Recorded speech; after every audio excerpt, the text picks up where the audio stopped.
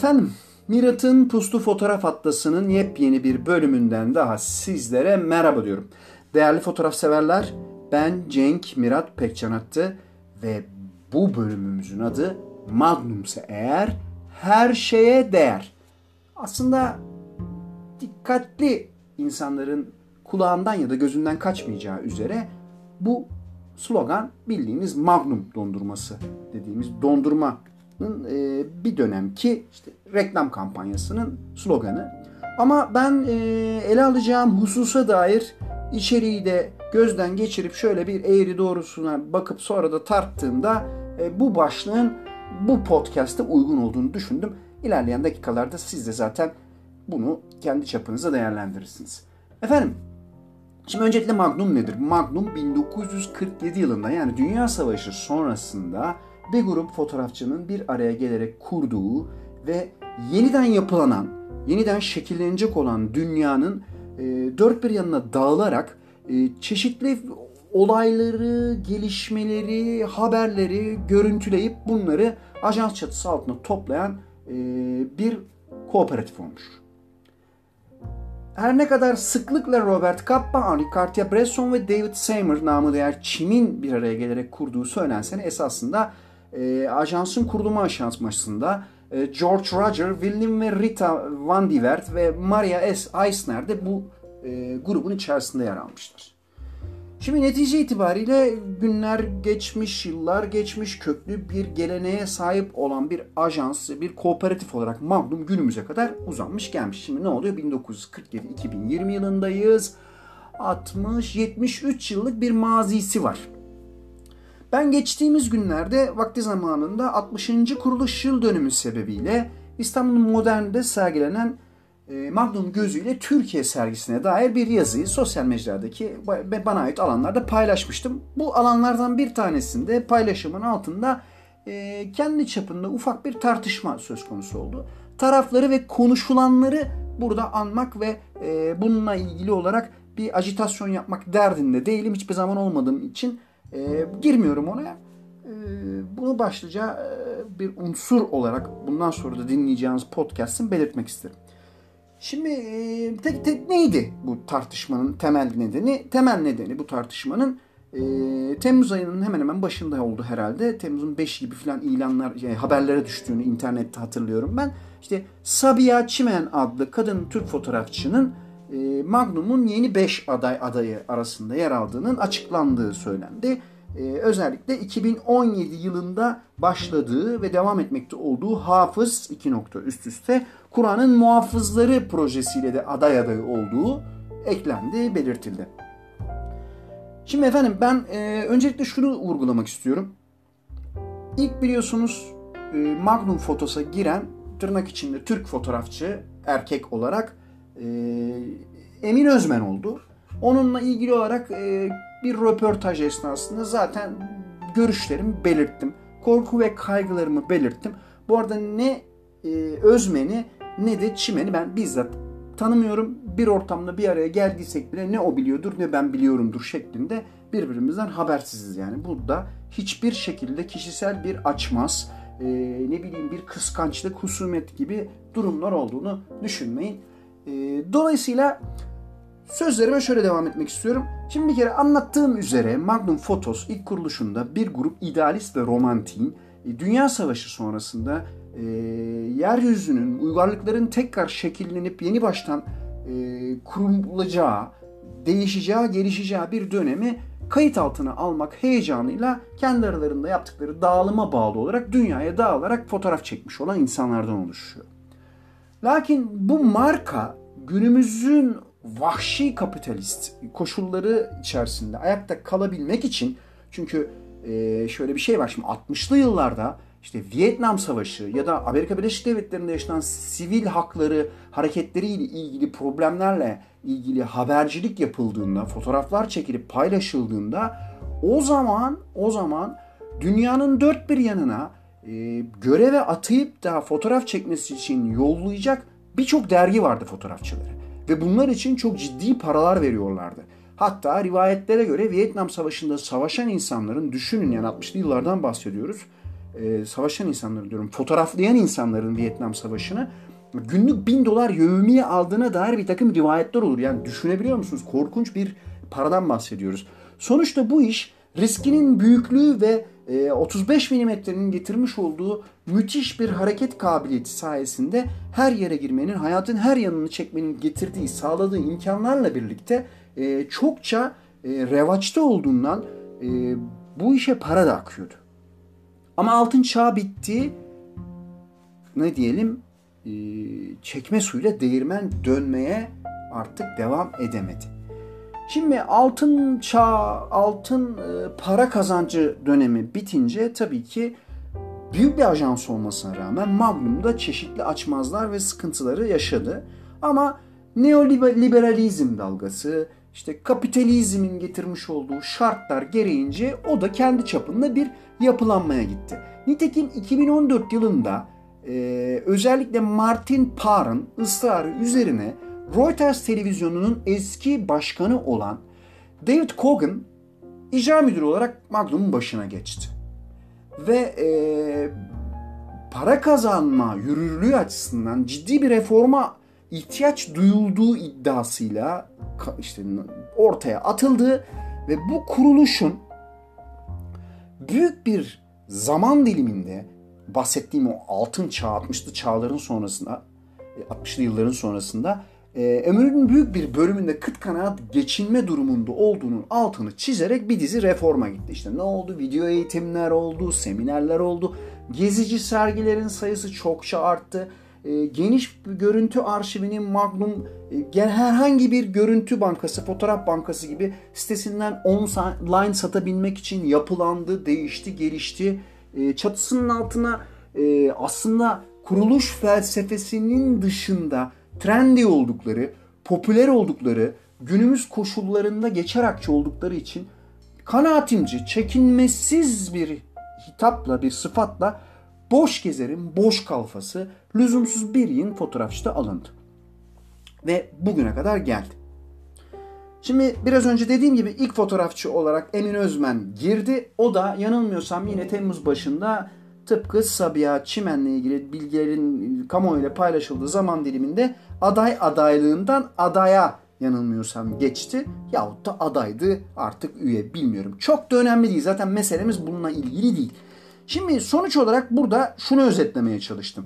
Magnum kurulduğu Magnum değil. Günümüzün koşullarına adapte olmuş bir Magnum var. Sonuçta bu Magnum markası satabileceği her şey üzerine patent diyerek para kazanma ihtimali yaratacak her türlü etkinliği ve koşulu yaratarak para basmaya çalışıyor. Bu konuda muvaffak da oluyor tabii ki. Ama bunu yapabilmek için öyle çok idealist, çok romantik bir takım çizgileri korumak gibi bir dertten arınmış durumda. Onun yerine biraz önce dediğim gibi her türlü skalaya hitap edecek tatlı tarzda şeyler var çatısının altında. Fotoğrafçılar ve fotoğraf konuları var. Şimdi ee, özellikle Sabiha Çimen'e geçmeden önce esasında şöyle bir şey yapalım. Bir terazimiz olsun, bir kefe. Demin iddia ettiğim şeyleri biraz daha soyutlamak açısından iki tane örneği birbirine kıyaslıyorum. Yani burada fotoğrafik olarak onların fotoğrafçı kariyerleri olarak kıyaslamıyorum tam olarak. Sakın yanlış anlaşılmasın ya da kişisellikleri ya da sosyopolitik görüşleri açısından e, değerlendirmiyorum. Hepsi topyekun olarak değerlendiriliyor bu terazi tartımında. Şimdi bir tarafta eee Emin Özmen var. Emin Özmen işte gezi fotoğrafları, ondan sonrasında işte bu IŞİD'dir vesairedir gibi e, sıcak konularla ilgili sıcak bölgelerde yaptığı çalışmalarla daha sonra işte buna e, bir takım başka konuları ekleyerek Venezuela'nın sıcak olduğu zaman orada bir konu çalıştı. Hasan Keyif'le ilgili bir şeyler yaptı. Vesaire vesaire. Hayatın bir yerinde bir duruş ve bir tutumla takınan kendine bir karakter bir karakter yaratmış olan bir fotoğrafçımız. Diğer tarafta da Sabiha Çimen var. Sabiha Çimen de daha ziyade kendisini 28 Şubat mağduru olarak isimlendirerek işte e, şehirli ya da kentli mülteciler dediğimiz özellikle Suriyeli mültecileri İstanbul'da yaşamakta olan e, konu edindiği bir serisi var. İşte şu anda aday adaylığı açıklanmış olan proje Hafız 2 nokta üst üste Kur'an'ın muhafızları çalışması var.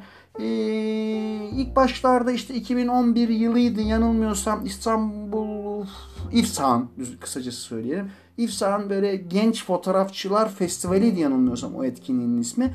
2011 yılıydı yanılmıyorsam. Orada zaten e, nasıl diyelim İslami Okullar ve Seni Sonu Merasimiydi yanılmıyorsam çalışmasının ismi. Türden bir e, çalışmayla işte start almış, bilinmeye başlamış genç bir fotoğrafçıydı o zaman. Şimdi işte Hafız Kur'an'ın muhafızlarıyla da günümüzde Magnum'a aday aday olmuş bir kimse. Tabii ki e, burada şunu söylemeye çalıştım. Birisi aksa, birisi kara, biri sağsa, biri sol olan tandanslı iki tane insanın ürettiği fotoğraflar Magnum'un çatısı altında yer alabiliyor. Çünkü Magnum ajansı tıpkı metro gibi. Yani metro derken şu var yani gross market. Her şeyin bir çatı altında toplandığı, aklınıza gelecek her türlü şeyin alışverişini yapabileceğiniz market türü bir market metro. Magnum ajansı da e, bu mantıkta çalışan bir yer olarak artık kurulduğu gibi değil yani kader ortaklığı eden, savaş yaşamış ve dünyayı yeniden tanımlama, var olan şeyleri insanlığa sunma ile ilgili dertleri olan insanların o idealist çekirdek birliğinin dışında her telden çalan bir görüntü gross marketi diyebiliriz. Şimdi e, bu bahsettiğim e, 60. yıl dönümü için sergilenmiş olan sergiye dair yaptığım benim tespit o günün koşullarında e, 2007 yılı oluyor. E, şöyle bir durum vardı. Magnum'un 60 yıllık serüveni içerisinde bu adamlar Türkiye'ye bir gözle bakmışlar ve bizim onu önümüze sermişler bu sergi kapsamında. Ve görülen şey şuydu ki 60 yıllık süreç boyunca Türkiye Cumhuriyeti'nde hiçbir şey hemen hemen değişmemişti. Tabii ki karşı konulmaz bazı işte ne bileyim şehir dokusudur, kılık kıyafettir vesairedir. Değişmemişti be. Değişmişti az buçuk zamanın kay- yani karşı konulmaz etkenleri sebebiyle. Lakin fotoğrafçıların birbirlerinden farklı kişiler olmasına rağmen e, Türkiye'ye, Türklere, İstanbul'a ya da işte gezdikleri diğer şehirlerdeki insanlara bakış açılarında aslına bakarsanız başta oryantalist diye çok basitçe özetleyebileceğim ama bunun altında subliminal olarak politik e, başka türlü bakma, ötekileme ile ilgili çok açık bir tavır vardı. Ve bu tavır günümüz koşullarında da kanaatimce süre geliyor. Şimdi benim birebir muhatap olduğum Magnum fotoğrafçısı olarak Nikos Ekonomopoulos var. Kendisiyle röportaj yapmış olduğum, yani röportaj da yaptım. Bunun haricinde off the record konuşmalar da yaptım. Ve e, yaptığım röportaj esnasında kendisine e, şu soruyu yöneltmiştim misalen. Kendisi işte 1991 yılında Beka Vadisi'nde Lübnan'daki PKK kamplarını çekmiş. E, ve hani bunlar hali hazırda şu anda açıldığında Magnum Ajansı'nın resmi sayfasında satış halinde görülebilir. Sadece Ekonomi Pulos değil, diğer başka fotoğrafçılar da yine BK Vadisi'nde ya da PKK konulu olmak kaydıyla fotoğraflar çekmiştir. Orada bulunuyor. İyi güzel hoş. Ben bir şey diyemem buna. Hani bu bakış açısıdır. Ee, diğer taraftan benim sorduğum soru şu olmuştu. Siz 91 yılında BK Vadisi'ne giderek bir PKK güzellemesi yapmışsınız. PKK'lı ya da PKK'li nasıl işte telaffuz doğruysa öyle farz edelim. Ee, ne bileyim işte eli silahlı e, bireyler, teröristler neyse artık yaygın kanaat o olsun. Ben burada başka bir şeyin peşindeyim çünkü. E, güzellenmiş. Ama ne olmuş da hani 2001 yılında aradan 10 yıl geçtikten sonra e, Türk-Yunan dostluğunu sosyokültürel anlamda pekiştirmekle ilgili bir misyonu olan Abdi İpekçi Barış ve Dostluk ödülünü aldınız diye sormuştum kendisine. Cevap vermedi. Yani hani geçelim de demedi. Jesmimik'le de sanki o soruyu duymamışçasına bir tavırla yoluna devam etti. Nikos Ekonomopoulos ve e, sonrasında ben bunu bir kere daha hani ilerleyen zaman içerisinde röportajın gündeme getirdiğimde yine kayıtsız kalmıştı. Sonrasında off the record olarak bana ben senin bana sorduğun sorunun farkındayım. Lakin bu konular hassas konular. Şu anda bu konulara girip bu röportajın içerisinde buna yer vermenin bana uygun olmadığını söyleyebilirim diyerek bu işi bu şekilde sonlandırmıştı. Şimdi ilginç bir şekilde geçtiğimiz yılın 20-30 Ekim'i tarihleri arasında Üniversite, Boğaziçi Üniversitesi'nde Nikos Ekonomopoulos'un bir fotoğraf atölyesi olacaktı. İşte çağrılı olarak işte haber verildi. insanlara önce portfolyolarınızı gönderin. Hani bakalım ne seviyedesiniz, ne değilsiniz. Oradan bir grup insan seçecek. Kontenjan dahilinde ve nitekim kendisinin sahip olduğu deneyimleri aktaracağı uygulamalı bir fotoğraf dersi ya da işte dersleri verecekti. Ee, o zaman 9-10 Ekim tarihleri arasında herhalde başlamıştı. Tam hatırlamıyorum. İşte Barış Pınar Harekatı vardı. E, bu harekata istinaden e, Nikos Konopoulos ben atölyeyi iptal etmek istiyorum. Çünkü Türkiye'de gerekli koşullar yok. Barışçıl olmayan bir ortam var diyerekten daha barışçıl olduğu bir zamanda buluşmak üzere temennisinde bulunaraktan gelmedi. Şimdi bunu niçin anlattım? Sonuçta bu Magnum'un e, has elemanlarından biridir. E, şunu da belirtiyorum ya Sezar'ın hakkı Sezar. Ben vakti zamanında işte Gölge fanzinin hızlı olduğu dönemlerde e, Nikos Ekonopoulos'un sağ olsun desteğiyle bu fotoğrafçılık tabii fotoğrafla ilgili bir durum. E, Saner Şen adlı arkadaşımıza 3 e, günlük atölyesinde yer alıp e, burs almasını sağlamıştık.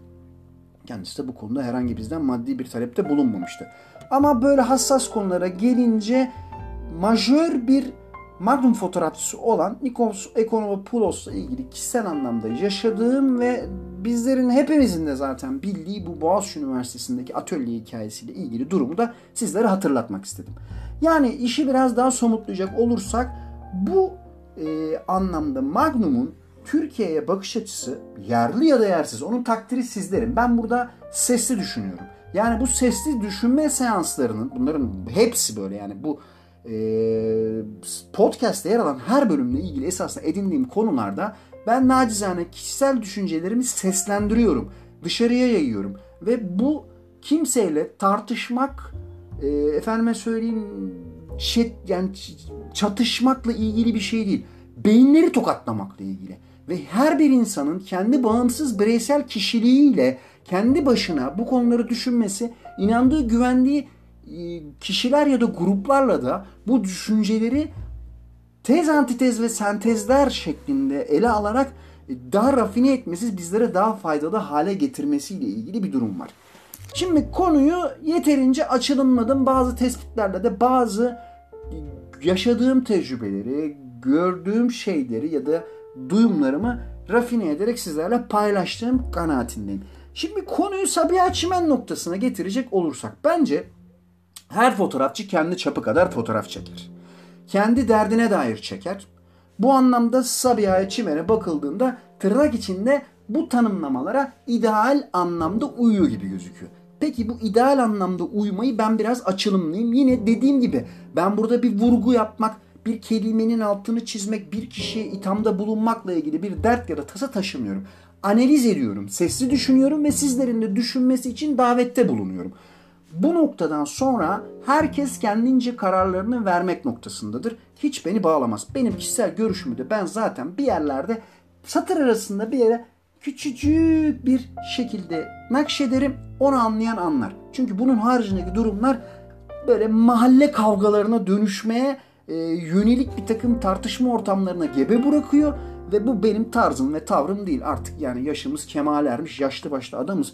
Böyle tartışma ve e, didişmelerden bana enerji katacak bir şey çıkmaz açıkçası.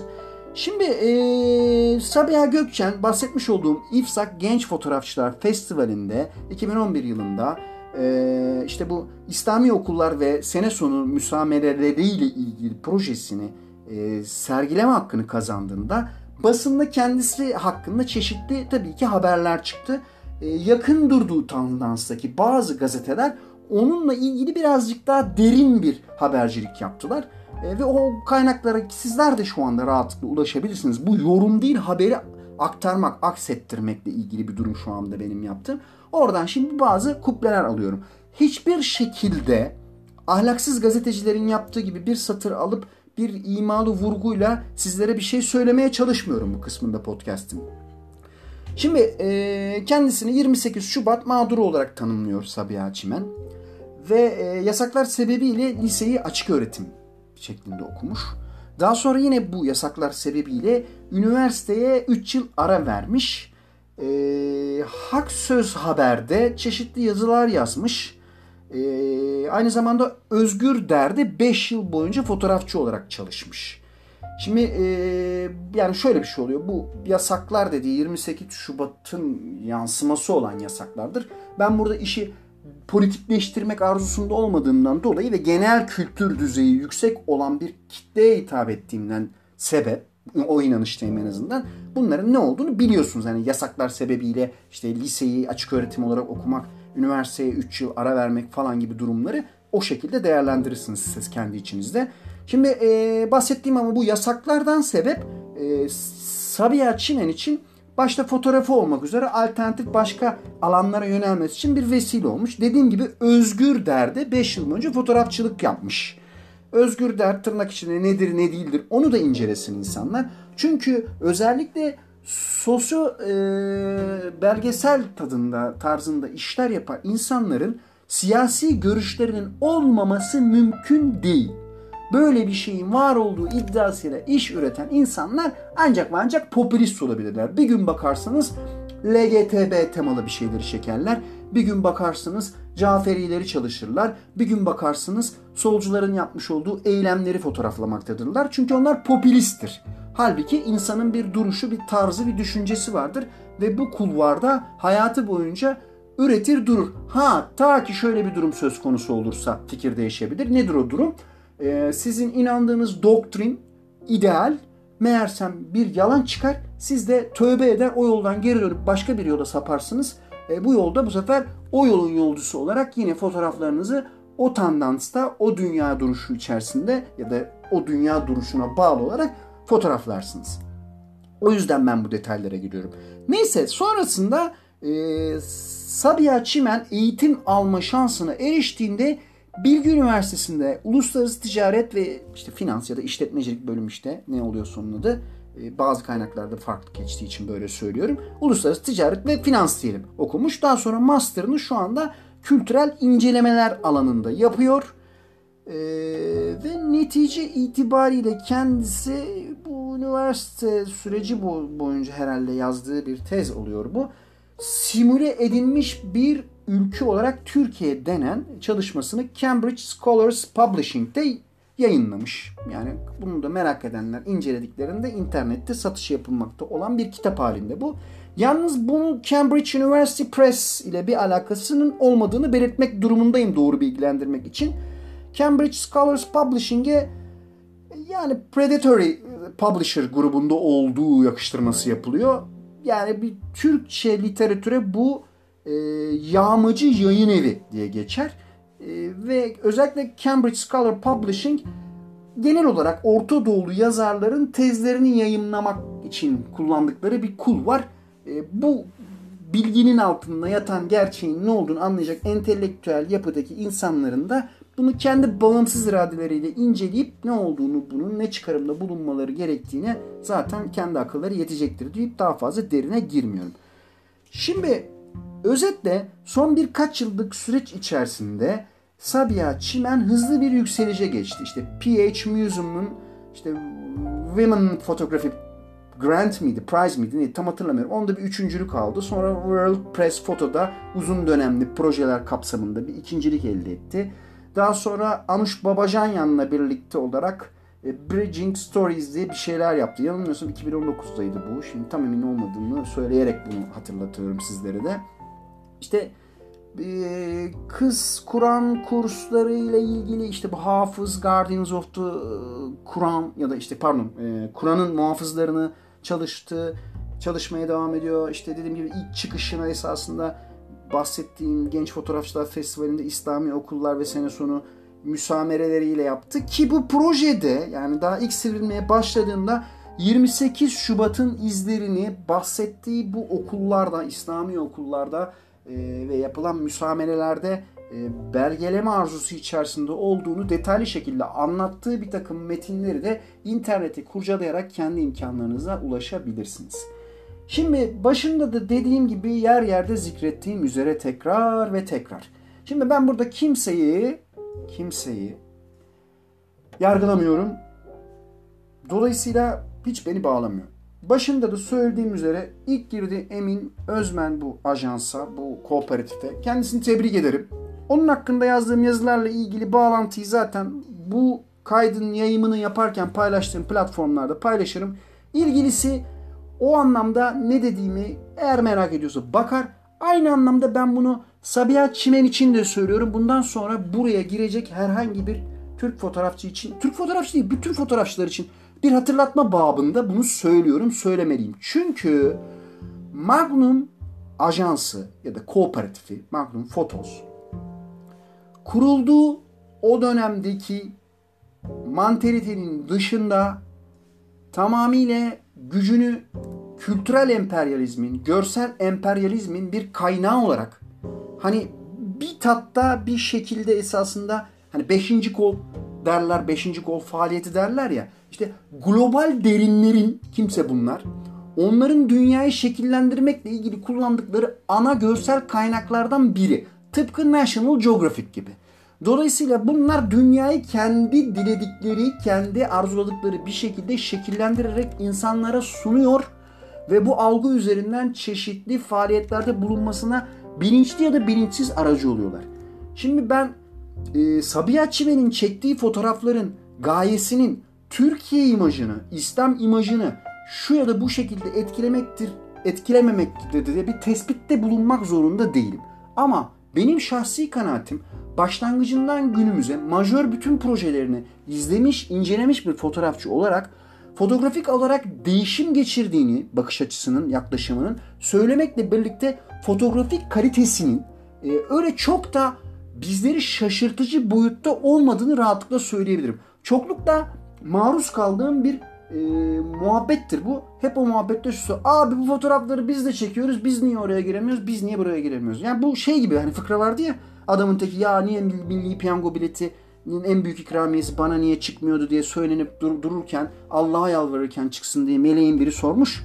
Tanrım demiş nedir nedir yani bu nedir ver şu adama hani kurtulalım bizim artık burada başımız ağrıdı bu adamın haykırışlarını duymaktan demiş. O da e, enayi herif gitsin bir bilet alsın da ondan sonrasında çıkar çıkmaz konuşuruz tekrar demiş. İşte bu bunun gibi. İşte siz fotoğraflarınızı onlara benzetiyorsunuz, bunlara benzetiyorsunuz. Onlar şu ajansta, bu ajansta diyorsunuz. Lakin sizler göndermiyorsunuz. Gönderin efendim portfolyolarınızı. Gerekli standartlara uygun oraya sunduğunuzda kendinizi rezil rüsva etmeyeceğiniz fotoğrafik kalite ve temaya sahip olan işleri gönderir. Tavsiye de ediyorum. İşte ben burada görüşümü esasında Kaneviçe gibi işliyorum şu anda bu podcast'in içine. Böyle ajitasyonlu şeyler olsun. Kıllı tüylü şeyler olsun. Türkiye Cumhuriyeti'nin içinde bulunduğu durumu daha daha böyle eleştirel anlamda ama negatif manada, yerecek manada malzeme üretsin Avrupalıya, Amerikalıya ve bu bindiğimiz gemiye elimizde ve sabırla delikleri açmayı sürdürelim bakalım ki dibi bulmak üzereyiz. Bulduğumuzda ne olacak? Bu arkadaşlar bunu bilinçli yapıyorlar ya da bilinçsiz yapıyorlar. Ama şunu bilmeleri için kendilerine naçizane bu uyarıda bulunuyorum.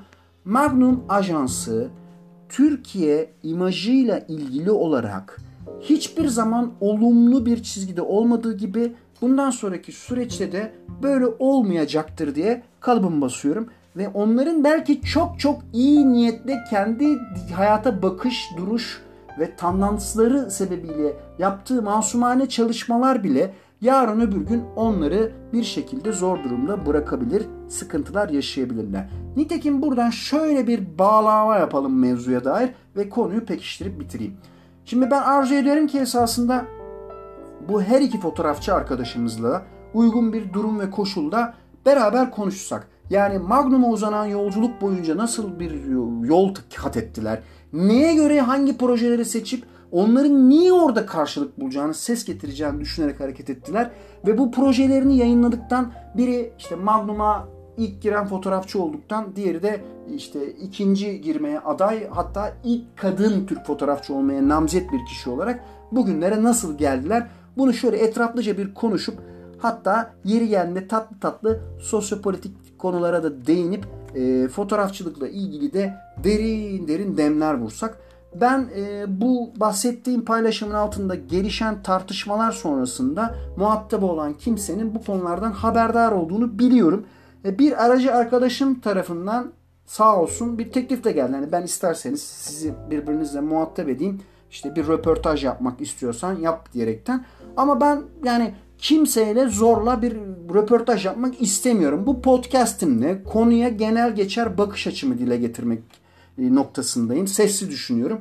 Ama burada hani herkese çağrıda bulunuyorum. Yani her iki arkadaşa da arzu ediyorlarsa böyle düzeyli, tadında, kafalarda soru işaretleri bırakmayacak aksine tertemiz böyle bir e, kağıt gibi her şeyin ortaya çıkacağı, aşikar olunacağı bir röportaj yapmayı ben kendileriyle arzu ederim. Kısmetse olur. Olmazsa canımız sağ olsun. Küçük de bir latife ederek bitireyim artık bu podcast'ı. Ya bu Magnum ne lanetli bir şeymiş Türkler için kardeşim. Yıllardır çözemedik. Aragüler Magnum fotoğrafçı mısıydı, fotoğrafçısı mıydı, değil miydi? Hemen basitçe cevaplayalım bunu. Magnum fotoğrafçısı asla olmadı. Şu anda da açınız A'dan S'ye yaşayan yaşamayan başından sonuna kadar o çatı altında bulunmuş bulunmayı sürdüren tüm fotoğrafçıların listesi yer alıyor. O fotoğrafçıların içinde Aragüler yoktur. Nitekim öyle olsa niçin hani e, burada kalkıp da e, Emin Özmen ilk Türktü diyelim. Ha diyeceksiniz ki Aragüler bir Ermeniydi. Aragüler Ermeni asıllı bir Türktü.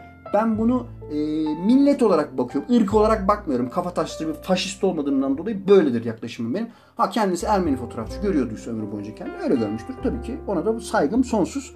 Lakin e, kendisinin fotoğraflarını ticari manada ajans dünyaya servis edip kendisine de para kazandırdığı gibi kendisi de para kazanmıştır. Olay burada bitti nokta.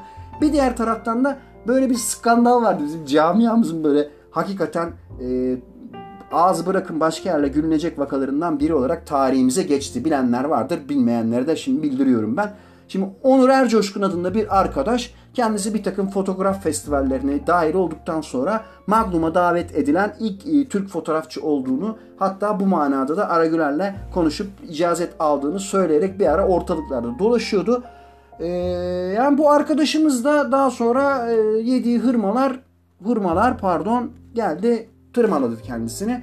Yalan yanlış olduğu, balon olduğu bu vesileyle bir iki tane konuşma e, projesine müdahil oldu. Hani TED gibi mesela değil ama hani TED Talks gibi. E, bunun haricinde bir yerle yerel bir e, belediyeyi ikna ederek kendisinin böyle ehli ve Magnum Fotos'a davet edilmiş bir fotoğrafçı olduğuna dair bir iki ticari organizasyon yaptı falan filan. Şimdi her nerede yaşıyor ve yaşatılıyorsa kendine selam ediyorum. Ama sonuç olarak Aragüler Magnum fotoğrafçısı mıydı değil miydi? Onur Ercoşkun ilk davet edilen fotoğrafçı mıydı değil miydi Magnum'a? İşte Emin fotoğraf çekti, neyi çekti, oralara nasıl geldi? İşte kimlerin nelerin katkısı vardı onlar olmasa ne olurdu? Sabiha Çimen şu anda bir fundamentalist olarak yaptığı çalışmalarla e, neyi amaçlıyor? Buraya ne maksatla girdi? O ajans onu niye aldı? Gibisinden bir yığın alt başlığı da aslında konuşmuş olduk. Ve e, şunu da belirteyim. Benim açıkçası ben de dahil e, kanaatim şu ki hiçbir Allah'ın kulu fotoğrafçı olup da eğer o tatlı tarzda fotoğraf çekiyorsa ajansa dahil olunabilecek e, Magnum'a girmem tövbeler olsun onlar şöyle böyle demek gibi bir e, tavrı tarzı olmaz. İstemem yan cebime koydur en azından. E, ama diğer taraftan da e, buralara giren arkadaşlarımızın ne gibi çalışmalarla oralara girdiklerinde incelememiz, görmemiz eğer o yolun yolcusuysak o yolun yolcusu olmanın getirdiği şartları yerine getirmemiz. Değilsek de belki de bu beklenti ve hayallerimiz Magnum Ajansı'na girmekle ilgili olarak ya gözden geçirmeli ya da ajansa girdikten sonra belki bir durum varsa tespit etmiş olduğunuz protesto edilecek. Onu doğru bir zamanlamayla ne vakit yaparımı da bu ajansa girmenin stratejilerinin bir parçası olarak daha şimdiden düşünmeleri gerektiği kanaatindeyim. Efendim ne kadar sürçülisan ettiysek affola böyle bir hassas konuda bir sesli düşünme gerçekleştirdim. Herkesin de kendi çapında kendince düşünmesini bu konu hakkındaki fikirlerini pekiştirmesini ümit ve temenni ediyorum. Bundan sonraki bölümde görüşene kadar ışık sizinle olsun. Doğruyu söylemek cesaret, doğruyu sürekli söylemek devrimcilik gerektirir. Saygılar ve sevgilerimle.